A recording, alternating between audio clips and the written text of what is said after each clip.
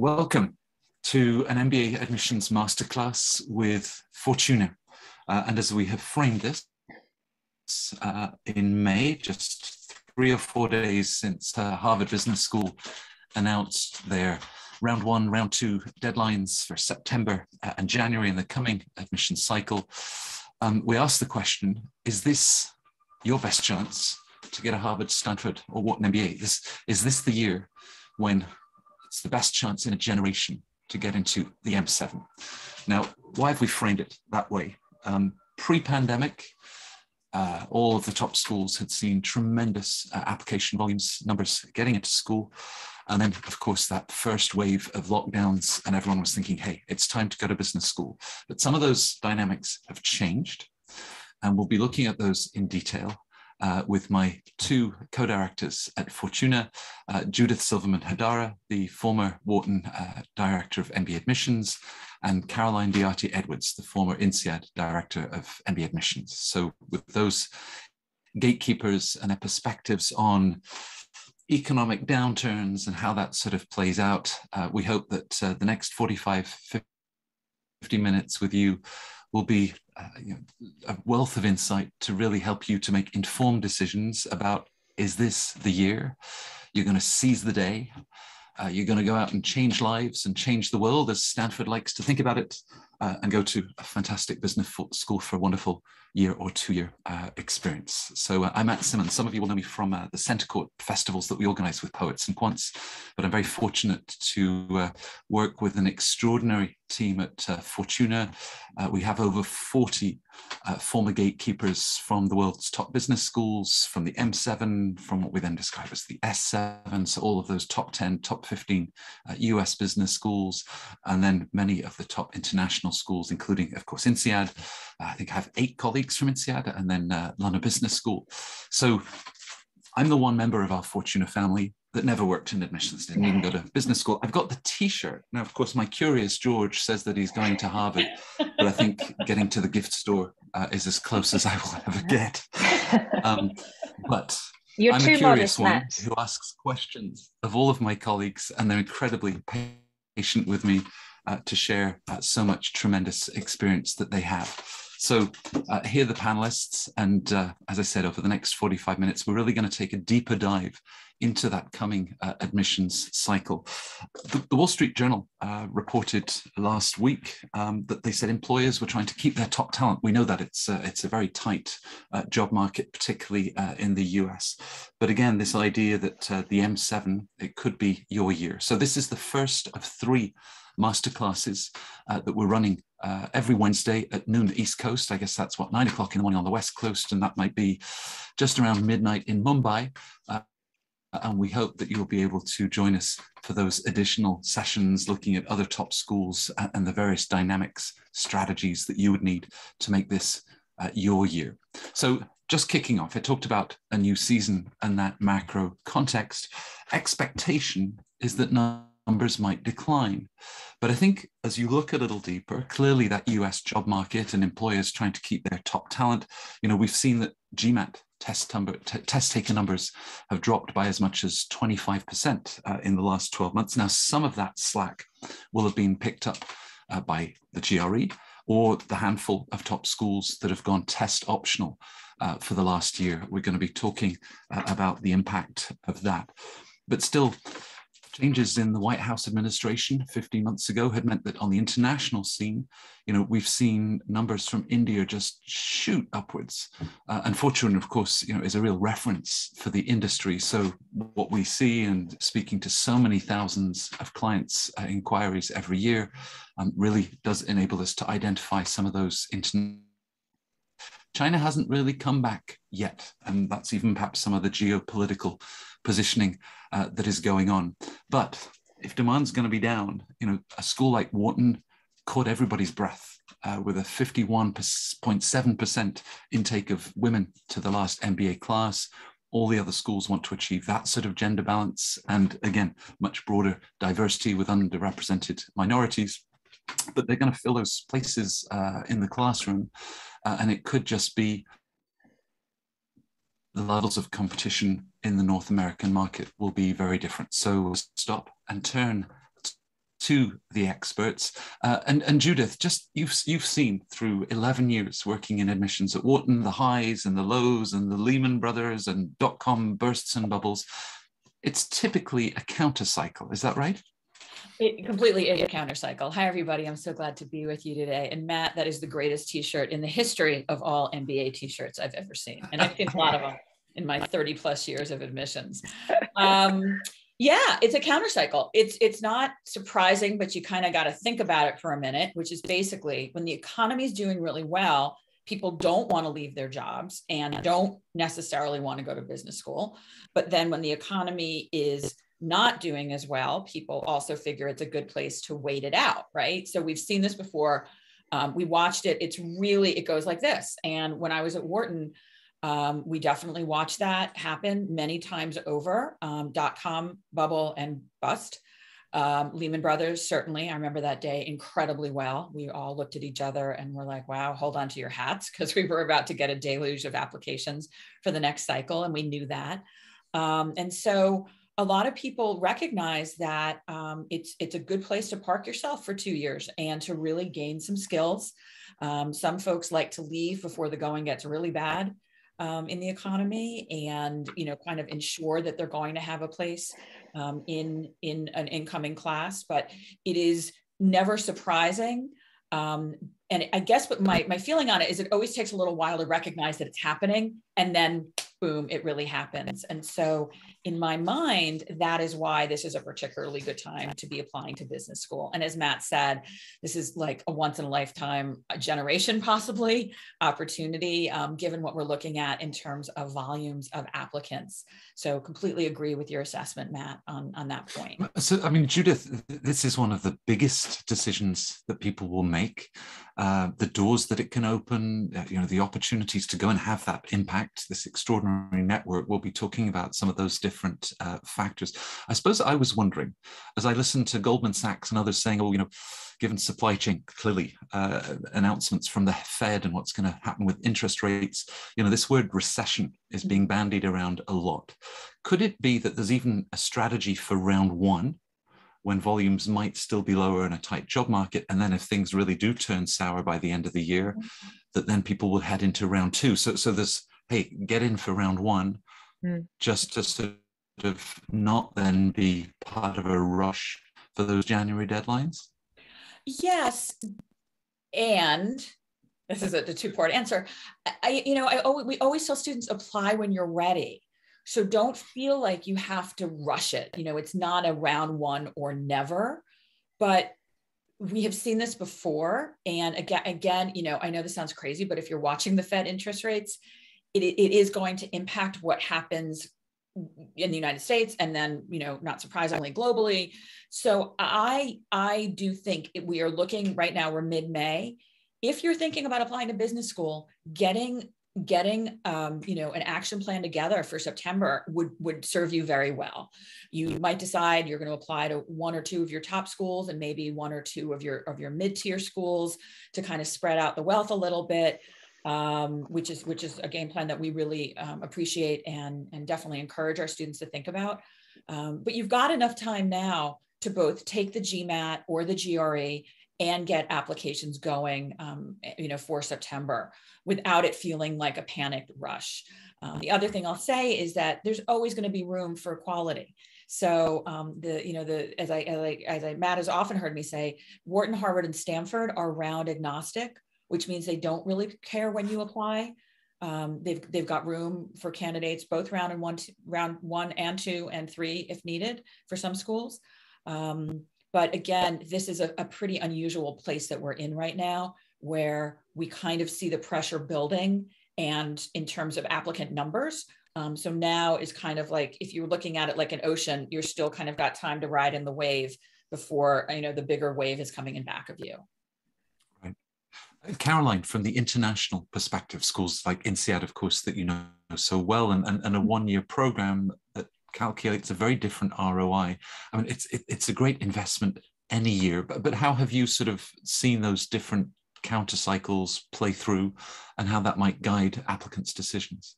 Yes, well, when I took the role at INSEAD, um, when I joined as admissions director, one of the first things I did um, after I had sort of dug up my own admissions file and seen what the interviewers and the file reader had said about me when when I was admitted to the program. It was quite fascinating.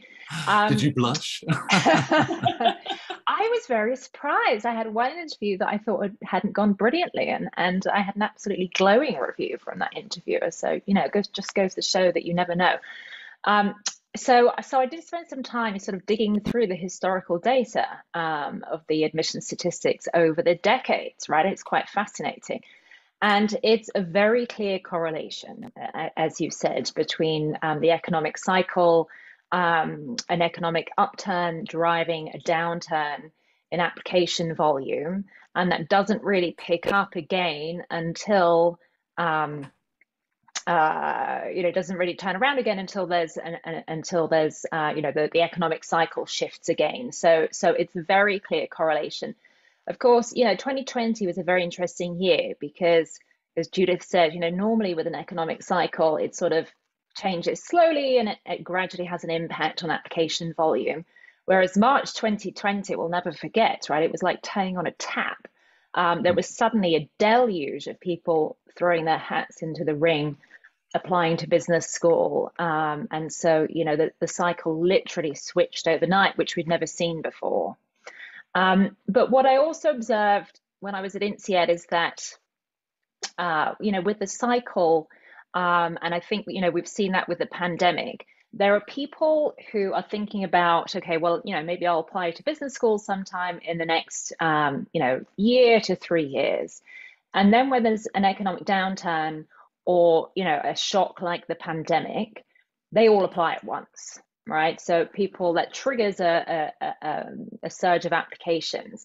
And so what has happened is you've pulled forward your your potential pipeline for 12 months time for two years time maybe even three years time. Some of those people who might have applied later on that has all been pulled forward to one moment in time or one cycle and so now I think schools are also seeing a bit of the hangover of the pandemic, where they have seen, um, you know, that that deluge um, that was triggered by the pandemic, and some of those people who might otherwise have applied now, but they, you know, actually had the time on their hands in 2020 and 2021, and so they applied at that point. So, and you know, I, I think it's already um, having an impact on schools. So what we've heard is that schools um, for the entry starting this fall, um, they're already struggling with yield, right? And um, schools are clearing um, more people than expected from the wait lists um, because some people are hesitating about going off to business school because they're getting promotions, they're getting pay rises, they're getting great job offers um, with a strong job market. Um, and um, and I think you know perhaps application volume also dropped towards the end of this current cycle, right? So maybe round three was smaller than some schools expected. I think that might have happened too. So so it it um, I do think that this year application volume will be down, and as you've said, um, I think that is going to be more the case in round one than possibly later rounds, right? We we do expect that there's going to be um, you know, we could be heading into recession in 2023. And, and if that does happen, then the shop cycle will shift again. So, um, so I do think that this year um, could represent, you know, the best time in between, you know, that pandemic high of 2020, 21 and potentially recession in 2023. Right. Um, I mean, as the NASDAQ and the S&P 500 constantly remind us, you know, selling at the top buying at the bottom you know timing the market is, is always so difficult is, is there any sense for, for either of you um, given what we were seeing through round three and, and yield management all the way through to the intake in september you know some candidates will think even within their own firms oh you know those those in the front office those glamorous positions, they were the ones more likely to secure places in Boston, Philadelphia, Palo Alto. Uh, and there I am in the back office as a research analyst. Do you think their time has come.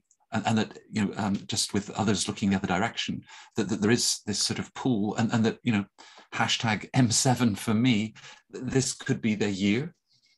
Yeah i mean i do think that um, for some of the profiles where they may have been at a disadvantage for for certain reasons and it could be because it's a common profile in the pool right? You know i'm another management consultant i'm another back office investment banker um, and there's lots of people with that profile applying in a context where um, you know the job market is very strong and so fewer of those people feel motivated to apply right now to business school um, that's actually the time when you should be applying, right? If you have that common profile, because um, you know you have less competition, which I think you know, as you say, is particularly important to keep in mind for people with that that common background, that typical sort of feeder profile into business school. Right, and from a diversity perspective, I mean, Judith Wharton, of course, is is uh, justifiably uh, proud of bringing in the sort of gender balance that they achieved this year. But I mean, all of the top schools, you know, whether it's on gender, other areas of diversity and inclusion, they're going to be looking for diverse talent beyond banking, beyond consulting, beyond software engineers. So they're all out there looking uh, for very diverse talent. Without a doubt, and I think that you know the when you're thinking about um, opportunity, um, that talent is going to come in a lot of different ways, right? And, and there are some things that are going to remain constant, right? So there's there's always going to be an interest in academic capability and in your scores and in your extracurriculars and in you know your career trajectory. But there's also a lot. Mean, Matt, you mentioned earlier Wharton has has now a greater percentage of women enrolled in the program than they do men, which is which was the, they were the first school to do that. Other schools are you know very much in the hunt, excuse me, for that as well um, a lot more of um, students coming from non-traditional backgrounds. Um, we actually just helped um, a young opera singer who's going to be going to CBS in the fall, um, has no basket, you know, a wonderful story, had had no background in business, although she maintained and presented that she was her product, right? So she was marketing herself to become to get roles and to work with a company. And so so lots of, of opportunity for people that aren't coming out of the traditional banking consulting tech. Um, additionally lots of individuals that um, might have started in a field that didn't didn't appear to have a connection with business to begin with, right? So um, lots of students that are, that are coming out and curious about opportunities for the MBA. Um, that doesn't mean, again, that there's not going to be that continued push from those three large industry pools, but, but without a doubt, and, and certainly some of this has to do with the two plus two and deferred entry programs, students thinking about business school earlier in their academic careers and not necessarily thinking, oh, you know, I have to go sort of lockstep into one of these industries and to, into, uh, to eventually attend. So, from my perspective, the diversity is very much there, um, and it is, uh, uh, you know, without without sounding like we're we're saying the same thing over and over and over. There's going to be a lot of opportunity in round one of this year. We all know it for people that are coming from feeder industries and people that aren't. Um, and and you know we could give you lists of folks that are that are just coming from backgrounds that you in a million years you wouldn't have expected that they would be interested in business school or admitted and and they have been so that's something that we've been very we're being followed by, by, by hundreds of people and others will then be catching this on fortuna's uh, youtube channel uh, great to, to also have you with us um, send in your questions if they are of the quality of the first question we just had uh, it's a real zinger uh, that looks at that hot job market and the fact that McKinsey and others are now hiring uh, associates, you know, with, with great starting salaries. So they're sort of saying, you know, what's the value of the MBA? Have we placed too much emphasis on that first salary coming out of business school? I mean, Caroline, of course, there are great rewards. We see these extraordinary jumps that you can make coming out of the top schools, but it's more than that first position. I mean, the MBA is then setting you up not just for that first job, but for the third, for the fifth position, levels of seniority opportunities that will then follow? Yes, it's, it's a very good point and, and a very good question. Um, and that's why people are hesitating to head off to business school right now, precisely because they're getting those great job offers and promotions and salary increases and so on. So they're questioning whether it makes sense for them financially. Um, I think it's really important to take a long-term perspective, and all of the studies that look at return on investment, you know, whether it's in the short term or in the longer term, show that you know, especially if you go to a strong program, um, you know, you will see quite an impressive return financially over time. And I think um, you know there is there's also a lot of unquantifiable aspects as well. I think that an MBA gives you the ability to um, to to change careers not just when you come out of the MBA initially, but also you know it, at any point in your career, right? It it opens doors that otherwise might have remained closed and give you gives you a network of support that is that is a wonderful um, asset to have. Um, so you know, and I think it gives you the ability um, in a context of uncertainty, right? And you know, who knows what the job market is going to look like in 10 years time, right? Even in 5 years time, never mind 20 years time when when current people heading off to business school are coming to the ends of their careers, right? We we don't know um, what the jobs will be even. So having the ability to reinvent yourself, I think is incredibly valuable and having that, you know, that solid foundation of skills that means that you feel confident and you have the ability to tackle running any part of a business, right? You're not hmm. stuck in a particular function, whether it's finance or marketing, but you have the credibility and the confidence to to tackle any challenge that comes your way.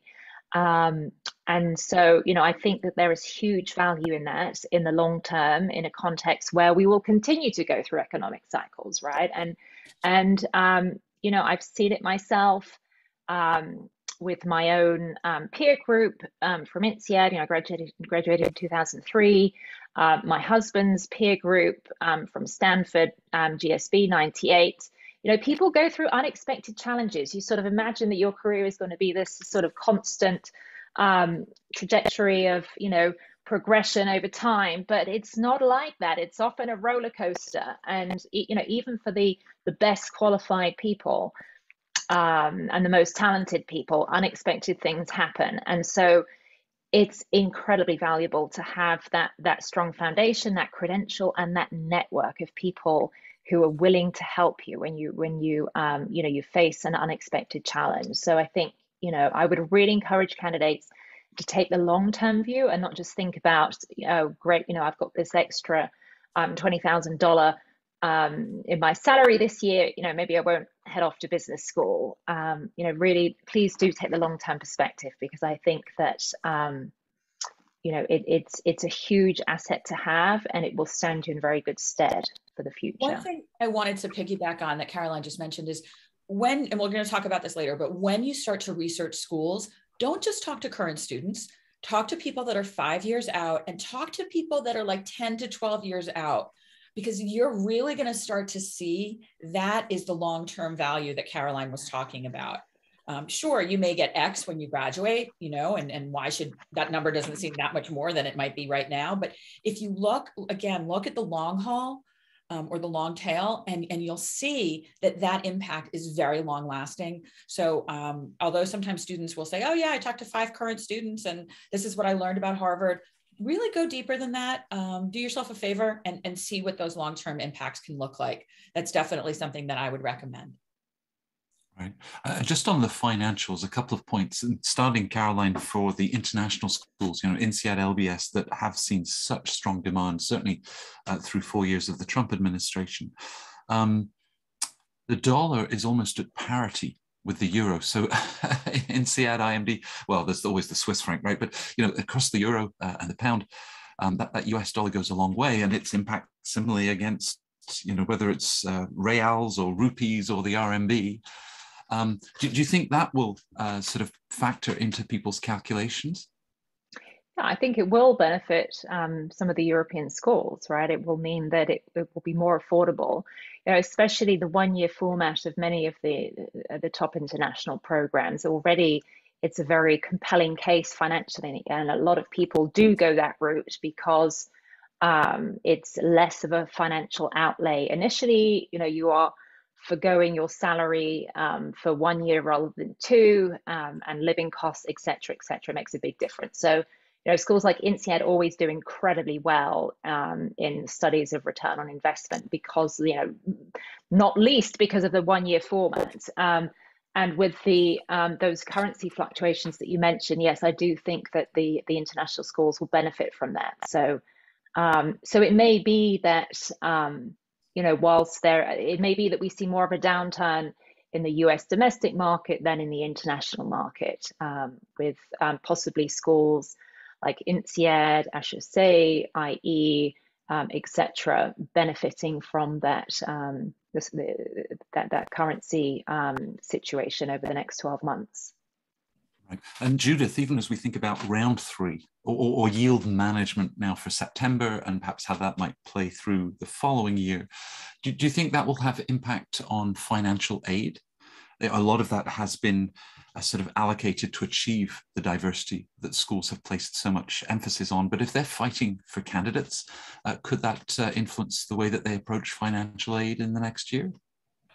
So I just want to make sure I understand. You mean in round three financial aid or sort of coming up for round one? Well, I suppose we have right now and schools that say, no, join us in September and we'll actually, uh, you know, maybe put money on the table that wasn't available before. But how might that play through to next year uh, and decisions that they make around financial aid?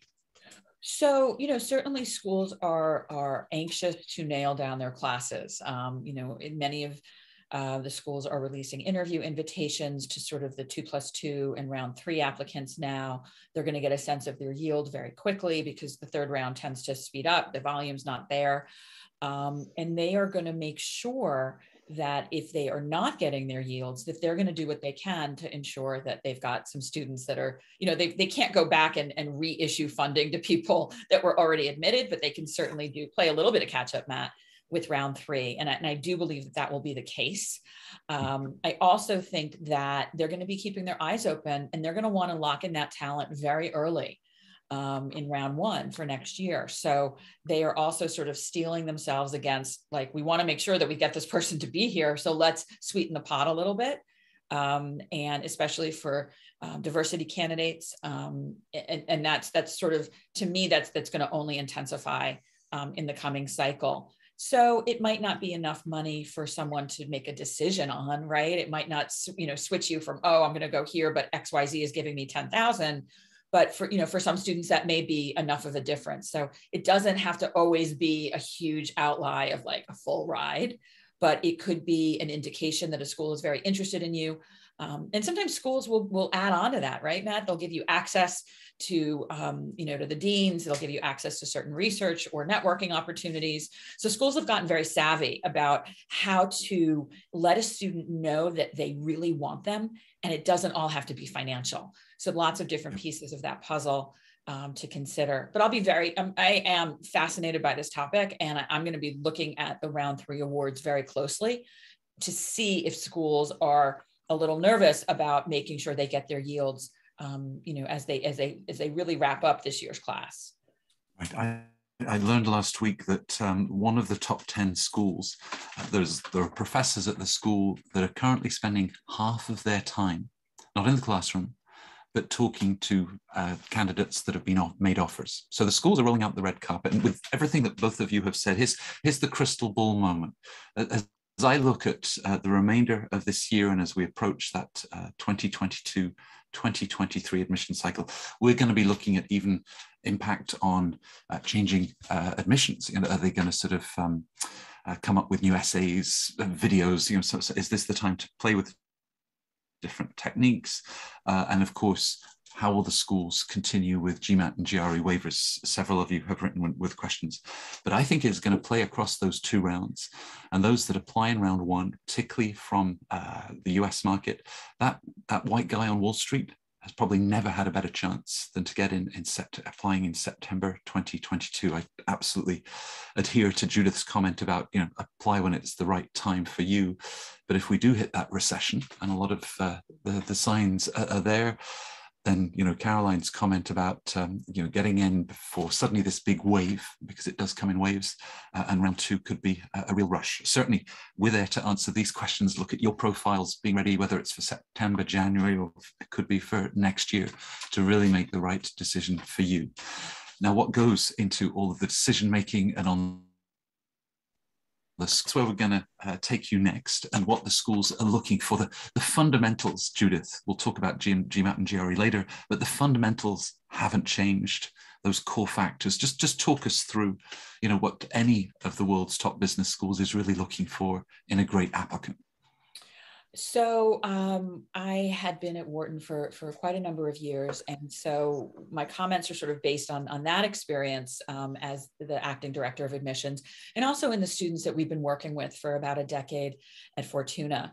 And there's some things that are constant, right? The academic ability. So no matter what you studied in undergrad, was it something that you were focused on? Were you performing? Were you taking classes that were challenging to you? Do you have the quantitative chops to be able to survive and thrive in a, an academically quantitative environment? Um, and so certainly that transcript, the school record is going to be a very important part of the review that goes on. Um, in addition, is going to be your track record professionally.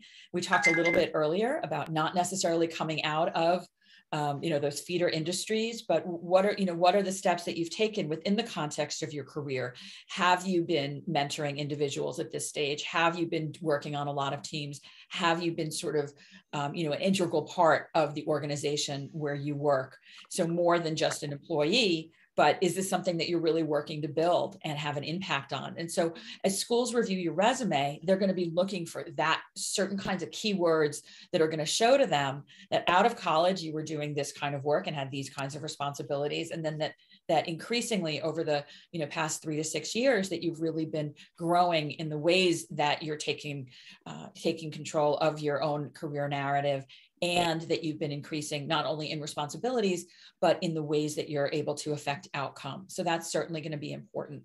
Um, schools are going to be want to see that uh, uh, not surprisingly that you are there are things that you care about outside of work. Um, i know that is really really tricky with covid and two years of not being able to do much but if you do have things that you're involved with hopefully you'll be able to continue to engage with them moving forward. Um, lots of opportunities for those that that are still not meeting in person but you can you know get involved online. And that definitely um, is a little bit of a hangover from covid admittedly that schools understand that if you ordinarily were involved in an after school basketball program for kids in your neighborhood you know that wasn't happening um, and a lot of people will time, spend their free time at work you know, parts of, of different affinity groups, um, working on recruitment for incoming associates and things or mentoring, things of that nature. So there's not a magic, there's not a magic um, extracurricular activities. It's, it's not like working in a soup kitchen is, is looking better for you than playing rugby. Schools are just want to see that what you bring, you're bringing your full authentic self to the program, academically, professionally, and extracurricularly as well. So those are all going to be important. Um, and we're going to talk a little bit later on about the ways in which you can really strengthen your profile between now and those deadlines. But I would say that really, you know, on paper, so many of the students that apply are really admissible to the schools that you're considering.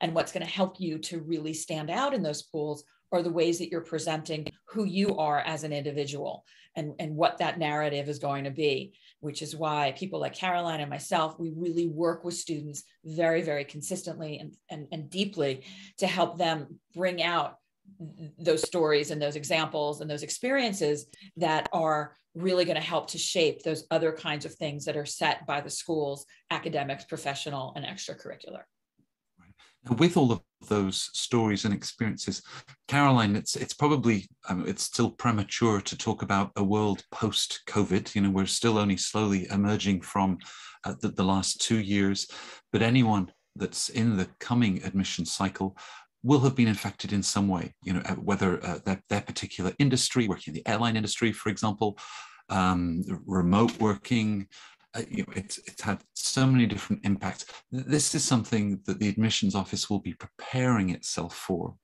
in, in the next uh, sort of cohort of applicants. Yeah, yes, that's right. And, um, you know, as Judith said, schools understand that your opportunities may have been affected by what has happened over the last two years. And, you know, we've worked with a lot of candidates who are very concerned about how um, you know the impact that it's had on their their ability to do certain things and um, and you know especially extracurriculars and so on you know how how that will be perceived by the admissions office. But um, you know the schools everyone's been through this right? We've all been through this together. So the schools absolutely do understand the dynamics.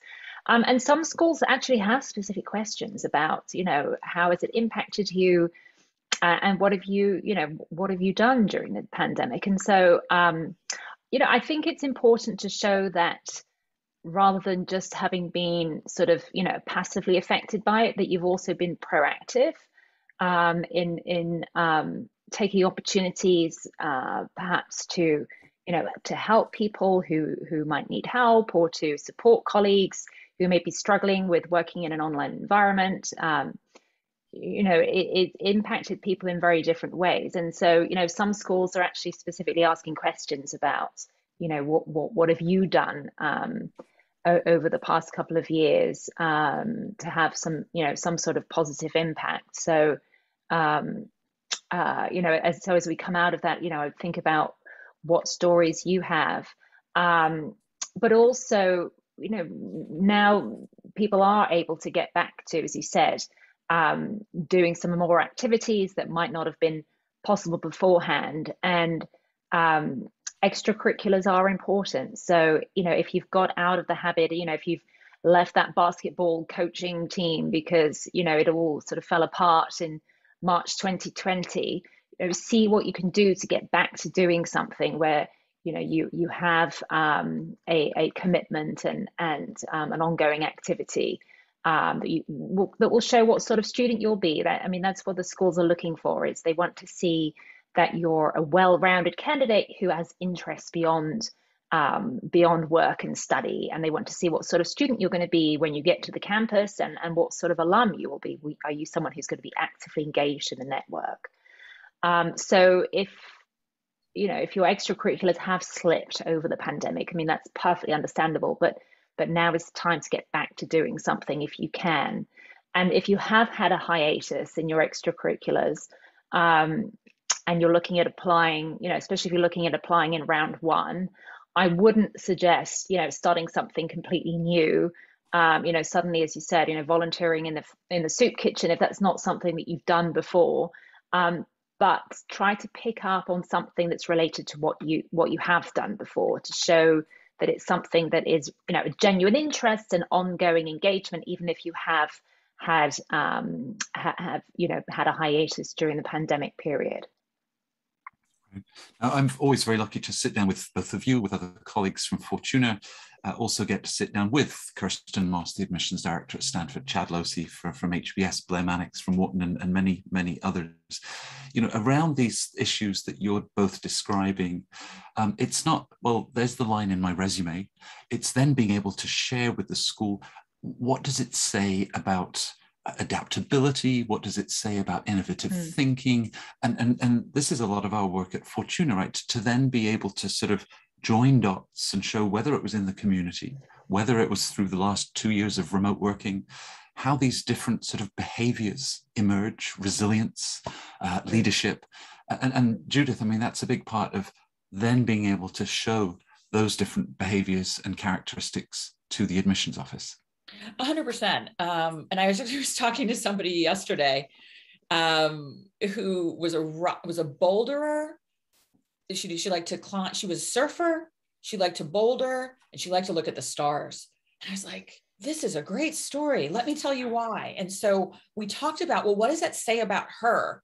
You know, she's what does it say about her ability to see a route up a mountain? What does it say about her ability to see things that maybe other people don't see? What does it see about her ability to be patient and to wait for opportunities right? So so really I, I, believe that the things that you choose to do professionally and outside of work and outside of school say a lot about you as a person and really a lot about how you're going to be in a business setting. So if you know you it, again it doesn't have to be and I, I think sometimes students feel like oh i have to really do something that's great for my community or i have to you know re, i have to tutor kids or i have to work in a hospital it's it's just a, it's informing how you see the world. Um, and most people that, that do what caroline myself and matt do are able that's why we're, we're in this in this position is that we like finding those paths. We love talking with students and saying well you know here are the ways that we see that you can really pull in those characteristics from what you do and and how and help show a school why that is relevant for who you are as an individual um, and I'm just reflecting. I literally had this conversation yesterday afternoon, and I could see how she could pull in the threads from these three things that she loves and she's chosen. And what does that say about her? And it's completely matched up with what she does for a living, right so um, and, and how she imagines that business school is going to come is going to come into play with all of that so right. it's um, the business schools are not looking for you to be anything other than what you actually are but and they're very interested to hear your perspective on how did that shape you as a person um, and in an effect if you join their community or their town or you know I, I, like to look at it like they're building this town and they're choosing their residents for the next two years or the next year.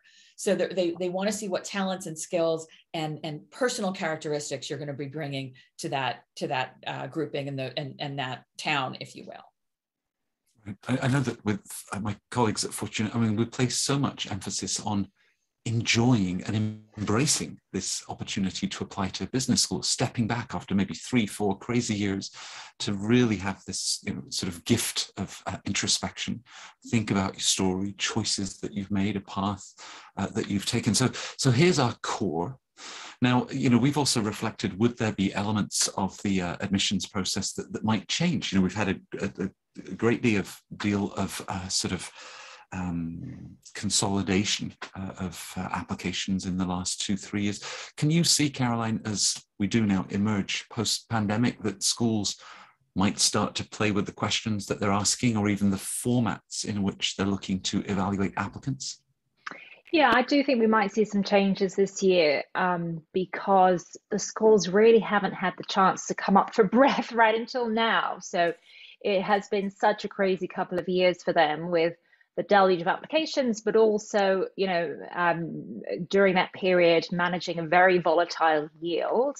Um, hmm. you know, a lot of uncertainty about who was actually ever going to turn up on campus or who could turn up on campus, right? In in, in those classes during the pandemic.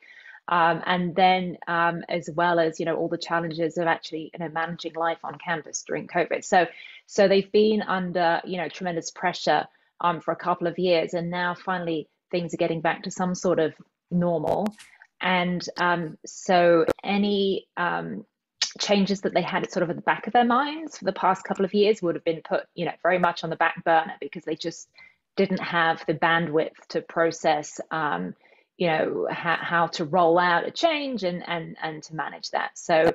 Um, so whilst things have been pretty stable for a couple of years, I I do think that um, we may see some some new questions, some experimentation come up um, this year. Uh, you know, possibly less likely with schools like Harvard and Stanford who don't change things very often, right? I mean, Stanford has that iconic question that has been um, rolled out every year for about the last 20 years now um, and, and, seems to work very well for them. So um, possibly those schools, and, and HBS has, has, already announced that they're keeping their essays the same um, for this year but I think mm. that um, we may see some innovations coming through from other schools.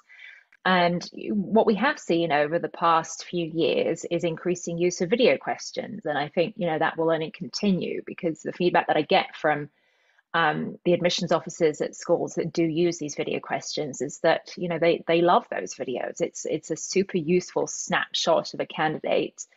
Um, and, you know, especially if they're not uh, otherwise meeting the candidate in person, right? Some of the schools use alumni for interviewing.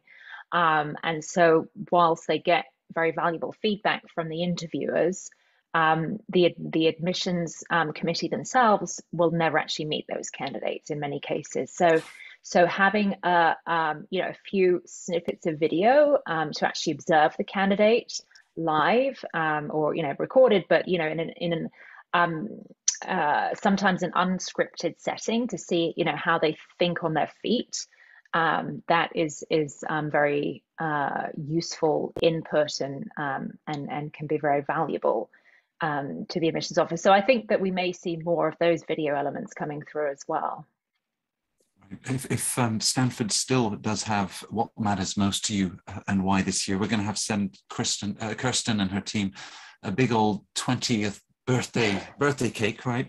Um, and, and Judith, you always said, you know, from Wharton, we envied them that question. I would have loved to have been a fly on the wall with you as you were thinking about, you know, what are the questions that reveal? Wharton has introduced this aspect of contributing to your community. I mean, it must have taken you a lot of thinking and, and nuance uh, to, to, to find the most revealing questions yes, and I'm smiling because I think that Wharton still hasn't gotten it quite as right as Harvard and Stanford. I remember So the GMAC conference, which is the big industry conference, is usually held in June. And all the schools would rally around each other before they went, and they would try to figure out what their questions were going to be for the coming year. And, and we would look around at each other. You know, there were like 15 of us on the on our committee. We'd say, like, we're intelligent people. How come we can't come up with anything nearly as like you know on the mark as these two schools. So in my mind you know the, the wharton question is definitely expanding a little bit. They want to know more about your contribution. It's no longer just you know what are you going to do here um, and what do you want to do afterwards? But um, the schools generally are in two different camps. Three if you count the creative you know the creatives. So there's generally like the who are you? What matters to you? Stanford asks, why do you want to go here? Wharton wants, uh, excuse me, Harvard wants to know who you are. Columbia and, and Wharton are very pragmatic. And then if you throw in the NYUs, which have, you know, pick six or different kinds of video options or different kinds of what song really resonates with you, which I happen to love. You learn a lot about people by hearing their favorite songs. Um, so I, Matt, myself, and Caroline were talking about this the other day that we we think that there's there was a hiatus on changing things up because everything else was changing. Right, school was online for about a year. Um, a lot of testing wasn't taking place. Incredibly difficult to get students on campus to understand what the culture was like. So I, if you look at it like a science experiment, I think that some of the schools are going to move to change their end this year, change some of those essay questions up, um, just so they can see sort of, you know, they're they're testing. It's it's always testing and testing and testing to see how you're going to get the the best sense of who those individuals are. Um, so again, we know that Harvard's not changing. We don't think Stanford's going to change, but I, I, I do believe that we're going to see some changes in some of those other schools um, that are represented you know, in the M7 and the Matt, Matt, what are they called? The Fabulous Six? What's the other moniker that you call them? So, if we, yeah, so what have we got? The M7, and people have different opinions on what the M stands for. Yes. And then there's the S7 or the S10. I mean, yes. how big should that group be? You could probably have the European five. Um, yes, I have no I mean, doubt. They're all clusters of fantastic schools. So um, and then, and then well, I forgot to mention, they, of course, you know the the LBS and the um and INSEAD, which which have many more questions than the U.S. schools do looking for different, you know, different kinds of really, really drilling down on certain parts of your career. Um, so, so lots of things to think about. Um, one word of advice for those that you that are listening is is don't get completely freaked out if you're applying to like six or seven schools because you can group them, right? You can sort of say, well, these schools are asking about my general sense of being, and these schools are really asking me very direct questions. So, I I, I like to say when you have a chance, look at all the schools, make a spreadsheet, and it's not as bad as you actually think it is. Yeah, I mean, we very often may focus on one or two schools with the idea that that will carry over to others, but as you say, sort of that, that matrix. Now, a, a very popular question was around the GMAT and the GRE. We start to so, we, we're starting to see this change, um, and of course, in through 2020 and that final crazy round for September 2020 um, Kellogg and other schools were all dropping uh, test requirements. And, and, then it carried through. You know, Sloan uh, was a school that maintained a policy through the 2021 2022 uh, admission cycle um, of, um, you know, optional testing. My question is, you know, is that disingenuous? If you've got two great candidates, both went to a junior Ivy League school with comparable GPAs, they're both working at a strategy consulting firm, a bank, or you know, a successful software engineer. One is sharing a 730, 740 on the GMAT, or what might that be, a 328 on the GRE, and the other one doesn't have a test score. So, um, Caroline, where, where do you see GMAT and GRE going? And also that very popular article that you wrote about how high test scores are. Back from that, I've just given you a lot to answer. Yeah, well, so I, so as you said, you know, we saw um, schools becoming much more flexible um, due to the pandemic when testing was so much more difficult, and most of the top schools have gone back to requiring tests. Um, MIT, as you said, through the last cycle um, was test optional. Um, for the on the undergrad side, MIT has just announced that they are now going to be requiring tests again, which they weren't for the last season. So I think it's quite possible that MIT Sloan may also um, go back to requiring tests rather than being the only M7 school that doesn't require them. Um, so you know, and I, I think, as you say, if if one candidate has got a very strong GMAT and another candidate has no GMAT, um, you know, it's not the only thing that they're looking at, obviously, right? I mean, schools really are looking at every aspect of your profile, and it's very un- it would be very unusual that two candidates would have absolutely identical tracks in every way, right? So it's probably not the only thing that they that differentiates them. Um, but it does show, um, you know, that there is a strong correlation between the the, the GMAT um, and um, or the GRE and how people do academically on the program. And you know, as I said earlier, um, I was kind of fascinated to look through some of the data at INSEAD when I first um, started working at the school, and um, and that was something else that we did um, a lot of analysis into was looking at you know the different elements that we are um, examining at the in the admissions process, and then actually what are the outcomes? How do people do during the program? How do they do when they graduate? And actually, um, you know, I came into the school having uh, you know, done the GMAT myself, obviously, attended the program, and then a couple of years later coming back um, to work as admissions director. And I was very skeptical about the value of the GMAT, um, but but the data is there. There is a strong correlation um, between how people do on the GMAT and how people do academically, right? And it, it makes sense. The GMAT was designed specifically as a test for business schools, right? The GRE is broader. It wasn't specifically designed for business schools, or it does measure many of the same skills, but the GME, GRE, uh, the GMAT is very business school specific. And so there is value there. Um, especially when you've got a very diverse pool of people coming from very different academic backgrounds as you as you may have at a, um, a very diverse school like INSEAD or, or London Business School, um, some of the other international programs. So I think that um, you know if you're aspiring to apply to a top school, you should definitely be planning on taking one of these tests. Um, I wouldn't count on MIT remaining test optional. We'll, we'll see, but I think you know there's a big question mark there. Um, a lot of the other programs beyond the very top schools um, are maintaining test optional, right? And I think that's probably likely to continue. It just gives them more flexibility um, to to encourage people to apply who might not have um, had the chance or the time to jump through that hoop. And it does take, you know, it's a significant investment of time, right? Most people mm. do have to spend a few months preparing um, if they really want to do as well as they can on the GMAT or the GRE. So it's it's it's definitely not for the faint-hearted, right? I mean, it, it's not much fun. I well remember myself having to, you know, come back and slog through practice questions in the evening when I was, you know, already exhausted after a full day at work. So it's not easy. Um, uh, and so, uh, you know, it's definitely something that you want to anticipate as far ahead as you can and get out of the way um, before you dive into the application process. Uh, Judith, just to finish on, on tests and their continued uh, impact in this whole process. Um, I, I, was doing a, a panel uh, with Stanford at the NASDAQ Center, and, and Kirsten said, you know, I, I, I think uh, Stanford's GMAT averages are too high. The audience was like, what? what, what did Stanford? I think it was like seven, it was at 738 uh, that particular year. You know, Caroline's uh, great interview with, uh, with Virginie from INSEAD saying, you know, don't count yourself out. If you've got 660, 670s compared to our school average of 70, we're still yeah. looking at you. And that's the message. I can some, sometimes understand candidates being a little skeptical. Well, you know, like they're, they're bound to say that. But that was the case, right? You, you, you no longer work in the Wharton office, so you can speak freely, Judith. You were looking at so much more. I feel like I'm in a witness protection program. I can speak with, with, with immunity um there's so many other things that they're looking for you know? I, I, I hate to say it but a perfect score is not that interesting.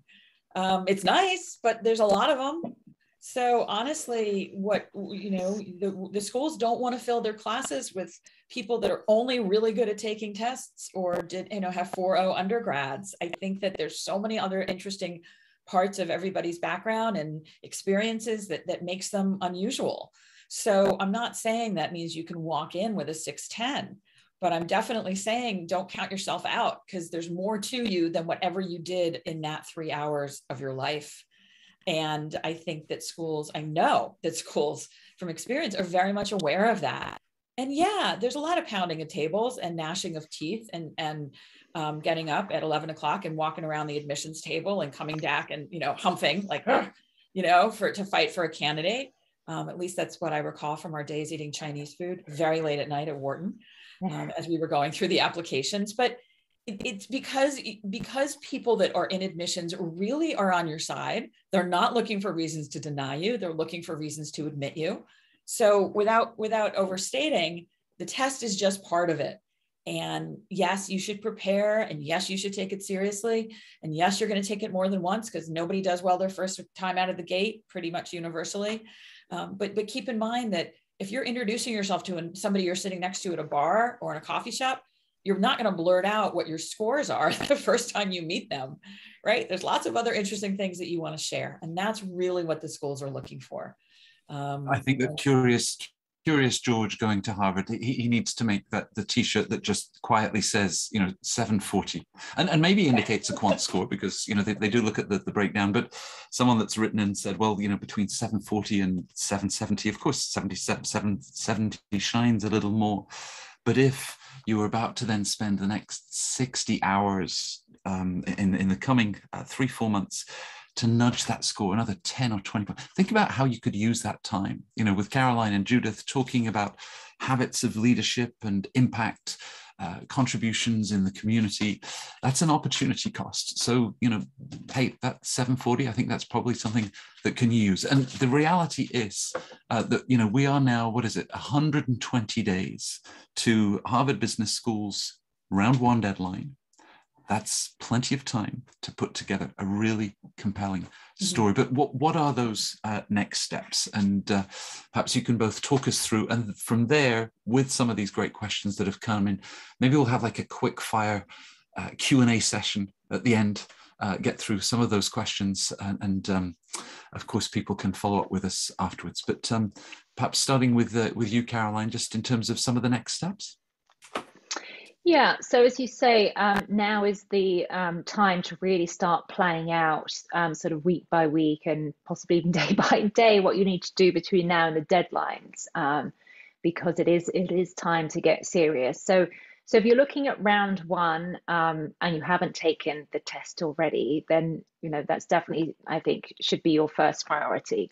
Um, I, I think for most candidates, it's ideal to take the test if you're taking the test um, before you then dive into the written application because it can just be hard to juggle everything at the same time right? When you've already got a demanding day job no doubt. So um, so you know i would definitely encourage candidates to get their testing out of the way first if possible.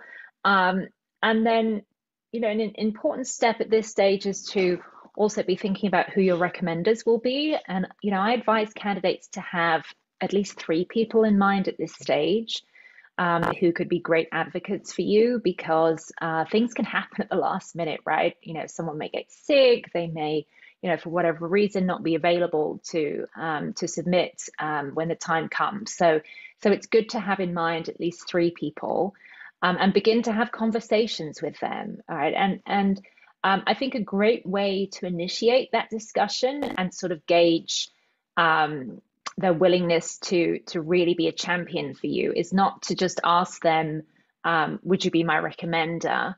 Um, but to ask them to phrase it a bit differently um, and gauge their reaction and, and, tell them that you're applying to business school and and ask them if they would be willing to advocate for you. Right? You phrase it in a different way to sort of gauge whether they're really going to be someone who um, is uh, is going to say great things about you, really be your champion, really be on your side, and and um, be willing to invest themselves in the process.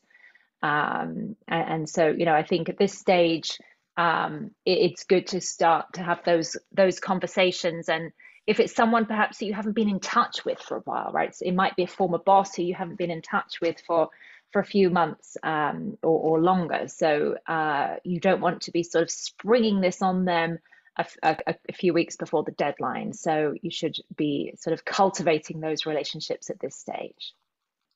And then in terms of maximizing the, the, the 120 days, I think we published um, the 100 day countdown. So if you, you've got exactly 20 days to read that countdown and then put it into practice. Um, but in terms of research and, and, school outreach, Judith, I mean, I'd love to head off to the West Coast and visit Stanford in July, but there won't be many students around. What, what can we do? You know, campus visits, but you know, just connecting perhaps with students, alumni, the admissions. What, what would you recommend for effective research of the schools? So the first thing, obviously, after this call, everyone's going to go online and sign up to start receiving updates from the schools that you're interested in um, and find out when there are going to be larger scale meetings, you know, online um, opportunities.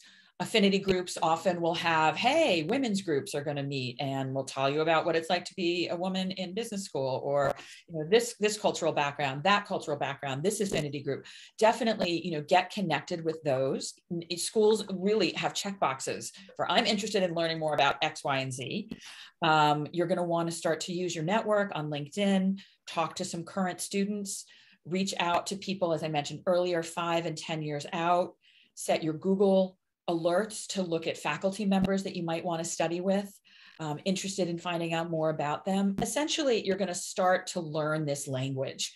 Um, and I reckon it a lot. And I, I, say it's a lot like learning a foreign language because you want to start to immerse yourself in how do, what do they say about things? How do they call their small groups? you know what are what do they call their lecture sections who are the faculty members that i might want to study with um, and so it's there's some very practical things that you're going to be doing that caroline mentioned and i really look at the summer like a summer immersion in business school culture so you're going to start to understand what sets Dartmouth across, you know, apart from University of Virginia, from Wharton, from Columbia, and in your own mind start to say, hey, this really appeals to me, or you know, I'm, I'm much happier in a smaller environment. So that's kind of what, what I like to see happen at the start of the 120 days. Do yourself a favor. Don't be afraid of looking at the application. It's no great mystery. Print it out, see what they're asking you. You don't want to be scrambling at the last minute to fill all of the stuff in. And the more you know, although it's a little overwhelming in the beginning, it'll start to feel much more manageable if you know what you're up against. So the schools are all going to ask you for salary history, job descriptions, responsibility. You know, start to get some of these things together. Some of applying to business school is incredibly administrative, right? You're working on a resume, you're getting things lined up. And then some of it, the good part, I'm, I'm biased, but the good part is the introspective part.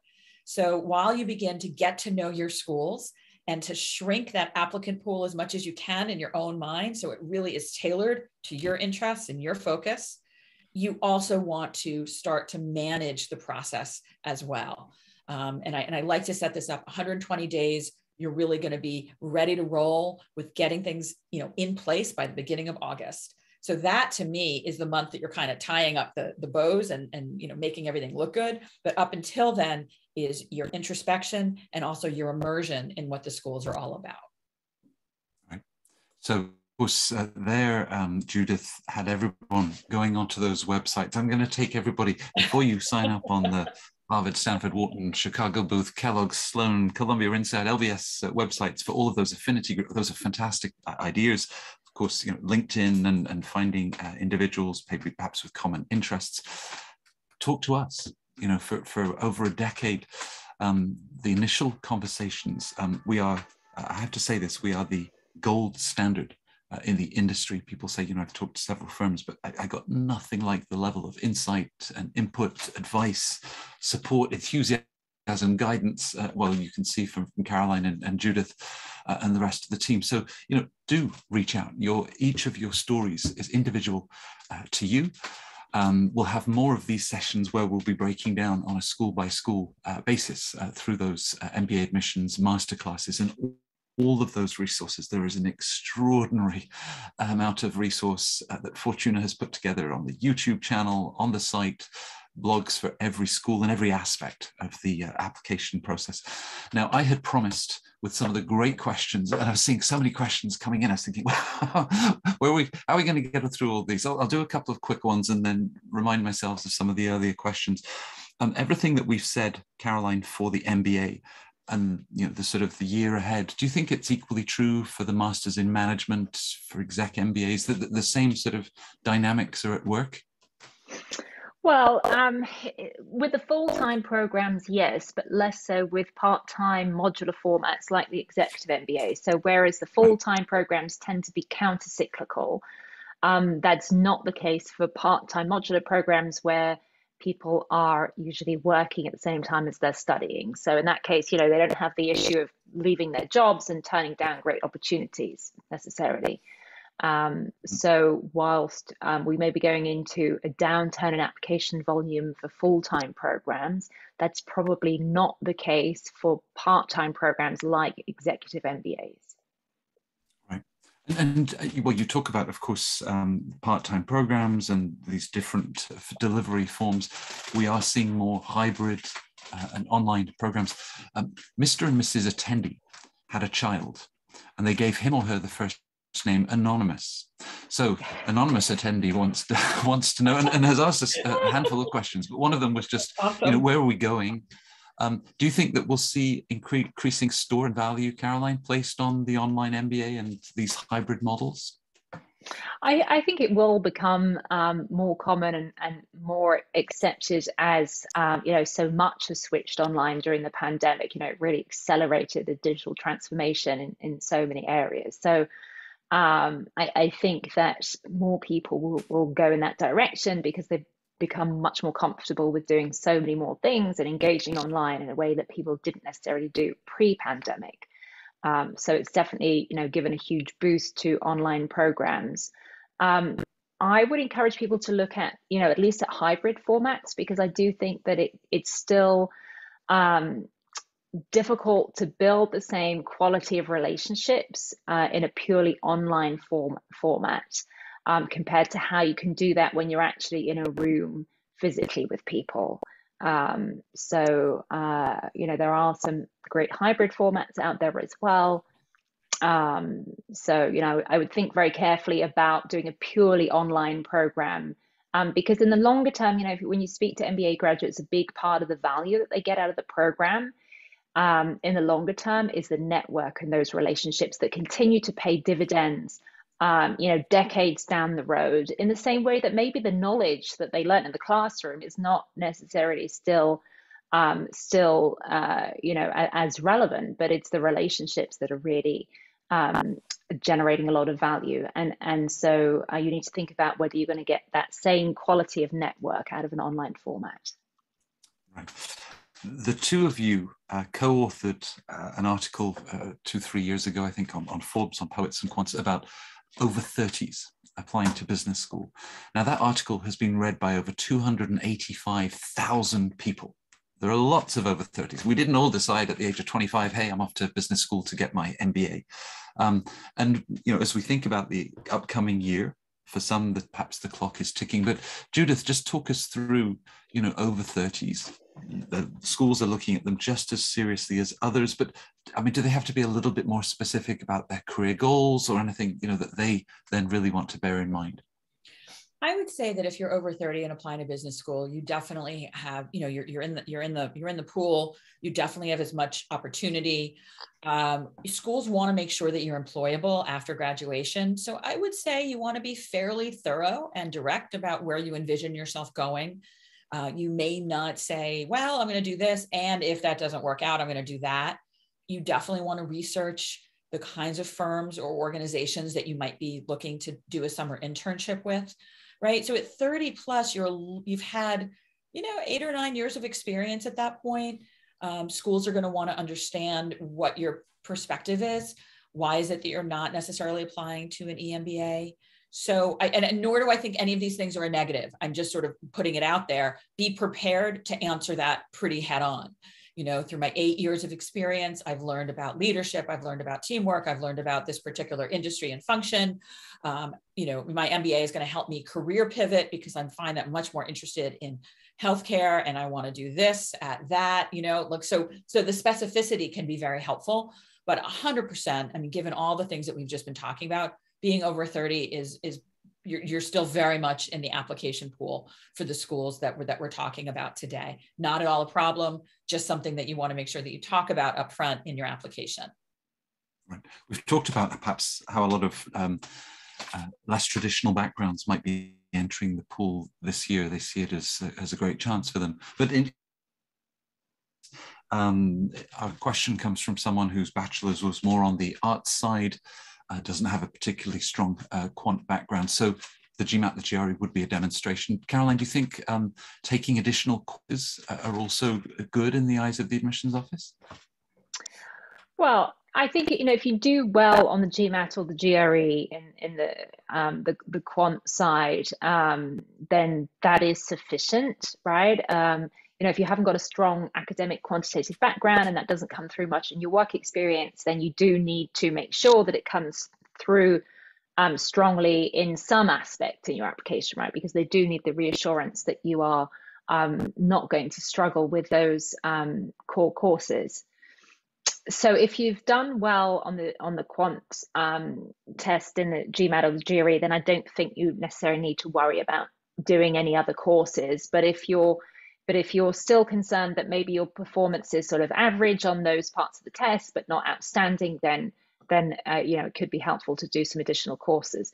Um, you know, be, but beyond that, um, you might want to do some additional courses in any case for yourself to help you prepare for the for the program, right? And, and um, you know, many students um, do extra um, prep courses um, uh, just in order to, you know, be able to hit the ground running um, when when they get to school. So um, you might not necessarily need it for your application, but it might be something that you want to do before you get to campus. Okay. Um, Judith, this one um, perhaps for for you. We have a number of the Fortuna team that are real aces working with the two plus two deferred enrollment uh, applicants. And if it's going to be your senior year in college, it's your senior year in college. So uh, that could be for the for the coming cycle. Do you think there's any um, specific advice you would give uh, those considering those deferred applications in the coming cycle?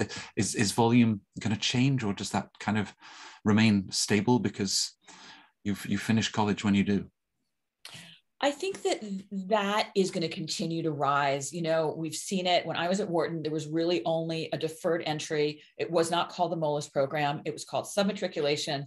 It was for students that were currently enrolled at Wharton and were going to continue their Wharton degree. So there was not that gap. Um, excuse me, Harvard famously had the two plus two program, but a lot of other schools have gotten on the bandwagon. It's a fabulous way to lock in talent, right? You're sort of saying to these students that might have considered law school, we really are interested in you. Go and do whatever you want for two or three years and then come back. And so they're kind of encouraging students to, to get connected to the programs earlier. Um, they're coming out you know excited about going to business school and recognizing that they have a little more flexibility and fluidity in, in what they may choose to do in that interim time so i personally think that that's going to be the next great frontier so to speak for applicant and applicant numbers.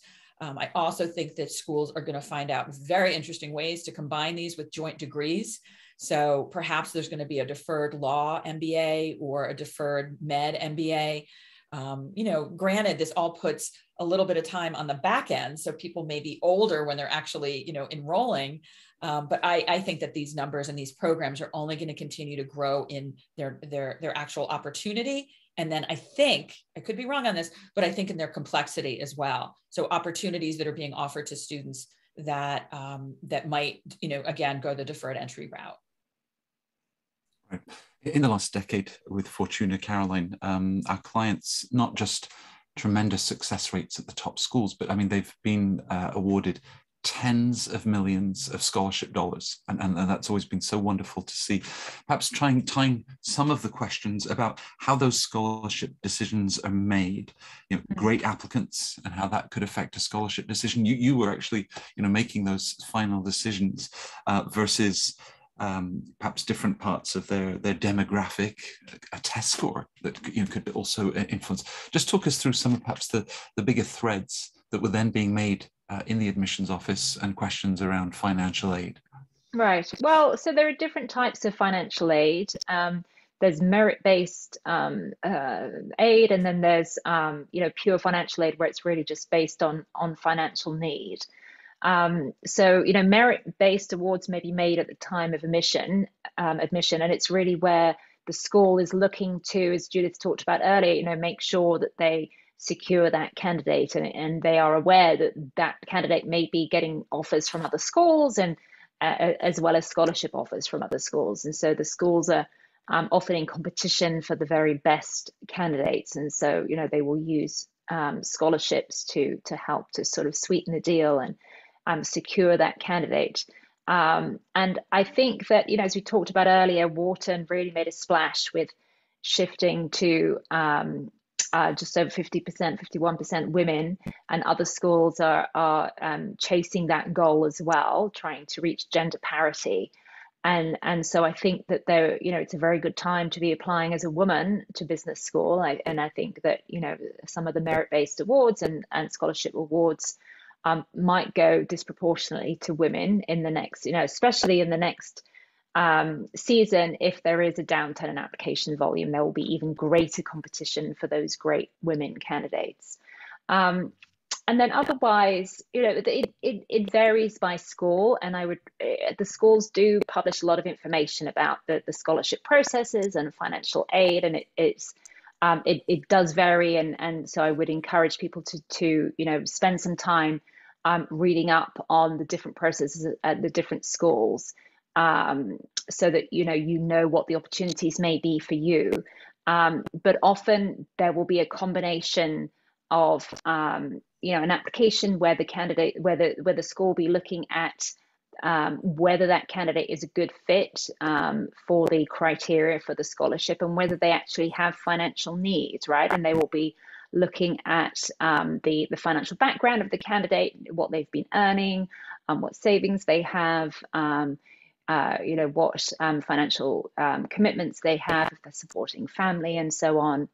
Um, so, uh, you know, the, the, the, schools take it very seriously in, in trying to, um, you know, spend that money very wisely and, and support people. And, and, you know, they really do want to make it feasible for for people um, to uh, to pay um, for for the program, right? They want to once someone's been admitted to the program, they want to make sure that they actually can um, manage the, the, the financial commitment as well. And so schools are really trying very hard to support candidates in that.